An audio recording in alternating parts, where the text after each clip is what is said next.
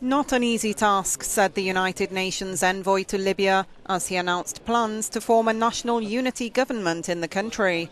Both sides must accept the deal, which aims to end the ongoing conflict between Tripoli's self declared rulers and the internationally recognised government in the east.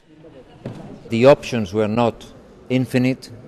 Perfection maybe was not uh, a possibility, but I think that it is a quite reasonably good list of names, politicians, personalities that will do their best, I'm sure, to take their country out of this crisis.